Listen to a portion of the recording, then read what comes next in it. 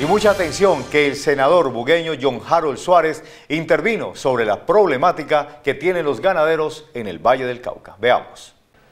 Una grave emergencia sanitaria originada por la no entrega de guías de movilización para el transporte de ganado que se presentaba desde hace varias semanas en el Valle del Cauca fue solucionada por la gestión realizada ante el Ministerio de Agricultura y el ICA por parte del senador John Harold Suárez Vargas. La falta de expedición de este documento para el transporte de ganado estaba afectando a los mataderos de Cali, Buga y Tuluá por la falta de materia prima. De haber persistido esa problemática, el departamento debería importar carne de otras regiones, encareciendo el valor final del producto. Ante la dificultad para la expedición de las guías de movilización de ganado bovino y porcino. Esto debido a que el ICA no ha realizado la contratación del personal de planta eh, que pueda atender la expedición de esta documentación en la zona. Sin embargo, desde el día sábado hablamos eh, con el ICA Bogotá, el ICA Bogotá se comprometió a enviar un funcionario a la ciudad. El día de ayer ya llegó el funcionario de, Bogotá, quien se encuentra pues realizando la expedición de guías. Sin embargo, pues se ha generado un poco de retraso en la expedición debido pues al cúmulo de, guías que estaban represadas para su expedición.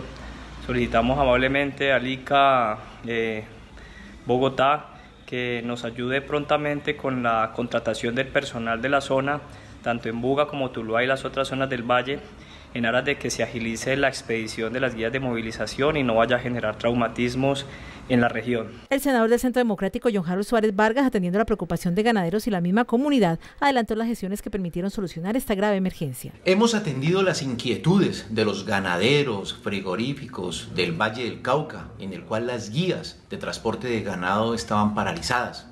La directora del ICA, de manera acuciosa, ha entendido la importancia que tiene para todos nosotros por el costo de la carne, por la economía, por la parte laboral y demás, de no importar carne de otros departamentos y que el próximo jueves o en los próximos días podamos darle curso y tranquilidad y que le demos la posibilidad de tener una carne de muy buena calidad y a muy buen precio. La directora nacional del ICA, Yanira Barrero, quien estuvo en Cali, entregó un parte de normalidad sobre la situación denunciada por el congresista del centro del Valle del Cauca.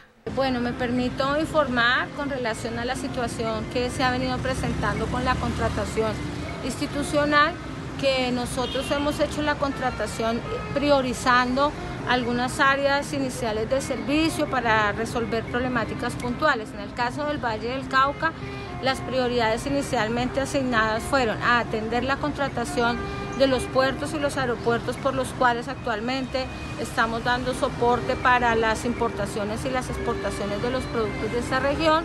En segundo lugar, también autorizamos la contratación de la gente que está en la red de los laboratorios, que también son importantes para la sostenibilidad de los procesos y venimos también paulatinamente autorizando las contrataciones para algunos puntos de servicio al ganadero.